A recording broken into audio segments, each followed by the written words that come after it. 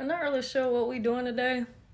You just gonna be along for the ride. That's okay with you? She ain't happy because I just woke her up. you look like you just woke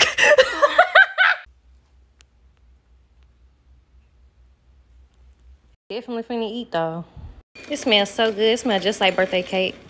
Some of y'all be pouring y'all milk before y'all cereal. I'ma just pray for y'all. Am I the only person that can't eat with big spoons? Mmm.